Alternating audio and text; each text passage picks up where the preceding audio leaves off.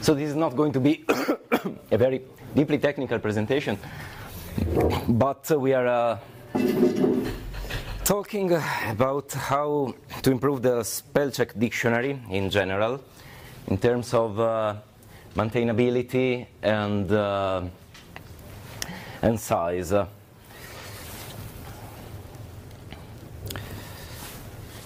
Something about me. I'm uh, active uh, as a volunteer in several uh, free and open source projects for several years. I do all of this in my spare time, which is very, very thin. So if you consider it spread among different projects, actually my contribution to individual projects uh, tend to be quite smaller. in the past, uh, this project uh, included uh, responsibilities at Apache OpenOffice, where uh, I served as a project chair and release manager. But now we are just uh, focusing back. Uh, I'm personally just focusing back on uh, maintaining uh, a general purpose Italian spell check dictionary that is used in many projects. Sorry about the cough. so, status of the Italian dictionary history. Uh, it's been developed for about uh, 15 years, so it is an old dictionary. An old dictionary does mean something. Uh, in uh, uh, it's uh, not. we will see that even dictionaries can have some legacy issues. it had different maintainers, and while it is only text files, it's amazing how many conventions you can mix up, mix up uh, and uh, mess up with, uh, with many maintainers taking care of the, the so-called code, uh, even though it is just rules, uh, words and rules. I've been maintaining the dictionary for, uh, say, the, the, last 10 years approximately. It is built for OpenOffice, but it is used as is or with the minor changes like packaging it into an OXT file just to go back to the previous talk, by many free and open source applications. So basically, every time you have uh, an Italian spell check somewhere, probably the underlying dictionary files come from either this project or uh, uh, a variant of it.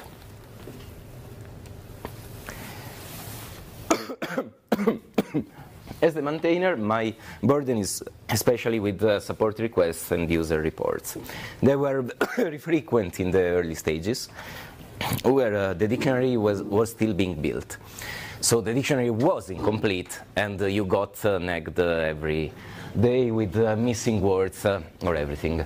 Now it is much less frequent since the product is mature. Say, we cover, we, we can consider the, the dictionary to really be in maintenance mode. It uh, fulfilled its task, and uh, and now uh, th there are just minor fixes. But maintenance is always required. Even Italian is changing, of course, meaning uh, that no later than a few months ago, a baby in Italy was I don't know how many of you speak Italian, so okay, keep this generic. Baby in Italy was seeing a flower and uh, inventing a, a word that do, does not exist in Italian for a flower with a lot uh, of petals uh, around it. The word didn't exist, but uh, the issue was brought up to the Italian national authority, so to say, uh, about uh, the Italian language, and they approved this new word officially. So the next day, I had my inbox full of people who asked to, to hmm?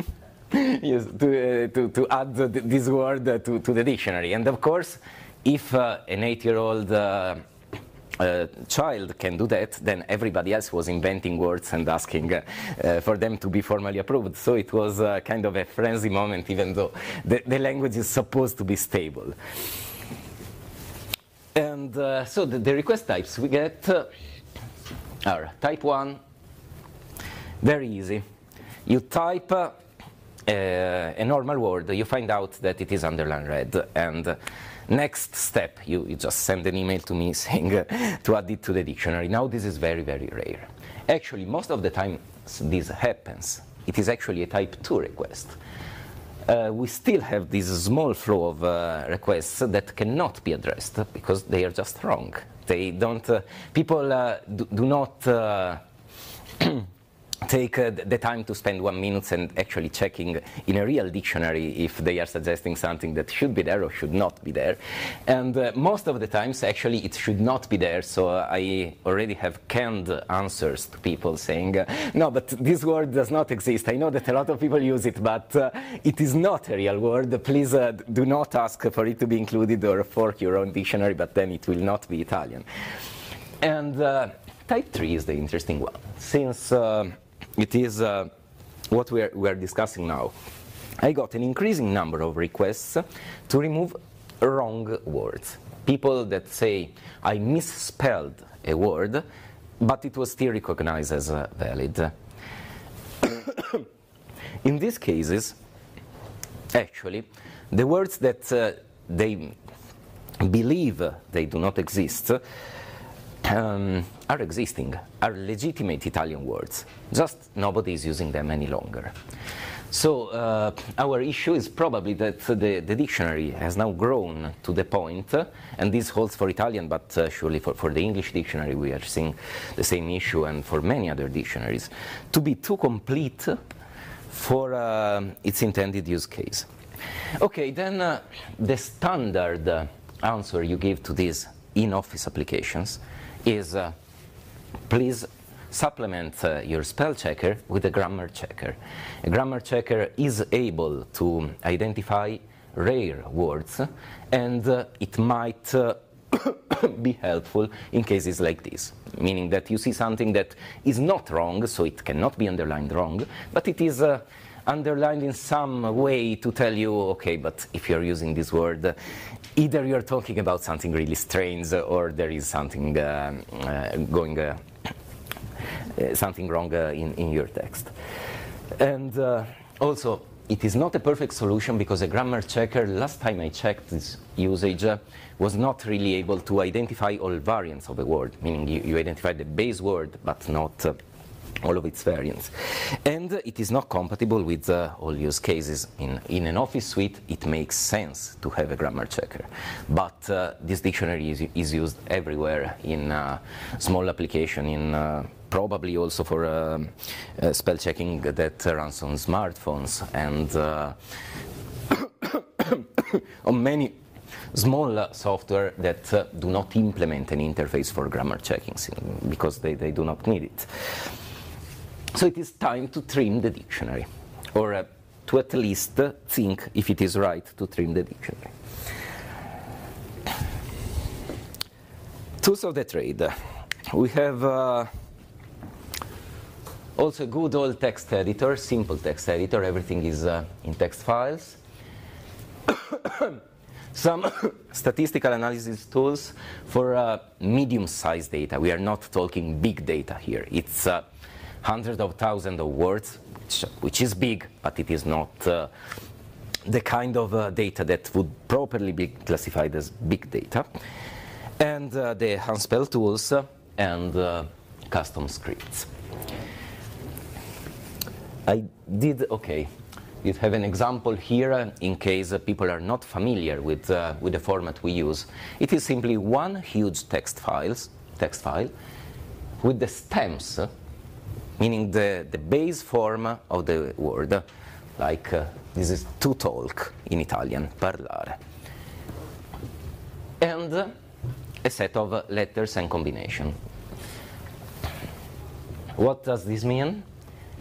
This means that uh, this is a verb, to talk, and here you have rules to form all derivative forms of uh, this word. So basically, you would have, if this was English, you, you would have a talk, and here a rule that uh, is defined separately and means from talk you derive uh, talking, you derive talked, you derive uh, everything that uh, is related to talking.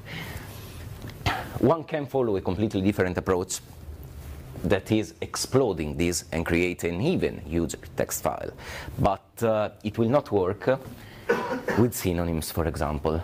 I mean, you, for synonyms, it is always important that uh, you can reduce back to the stem of the word, since uh, that is what you need for, uh, for uh, creating the, the, synonyms. Otherwise, uh, in, uh, in office applications, for example, all, all the synonyms will break if the dictionary is not using this, or will be inefficient, much, much inefficient. So what I try to do is to create a corpus, meaning finding all possible Italian words from somewhere. This is impossible as a task, of course, but you can try to get some approximation. The bad part here is that uh, you can use news, uh, Wikipedia articles, uh, recent books, because I do not want uh, uh, words that were used uh, two, two centuries ago. Italian is a quite an old language by, by language standards, and it is almost in its current form since it has been in that form for eight centuries, more or less. So Manual sanitization is necessary because news will contain uh, person names and other uh, stuff that you do not want in a dictionary. And uh, for uh, no, no, matter how hard I try, I never managed to, to get past uh, the 50% of base words, which basically means half of my dictionary is useless uh, in, in real use cases. And what's even worse, only about 5% of all possible variants are considered because here it is much a matter of copy pasting. I mean, if uh, if a verb uh, behaves like behaves like another verb, then I will just copy paste uh, all variants, but some of them are really sound strange in Italian, are not real Italian words. so, what uh, we got in the end was that uh, we, we, we, removed all words that do not uh, appear in the corpus. And, uh, but this is much, much more trickier. And uh, if any of you has some smart ideas, come to me after the talk and uh, we can try how to make it in an efficient way. The variants that are never used are, um, are removed. Of course, this is more complex because you, you do not just remove a line, but part of it, and uh, it becomes uh, quite complex.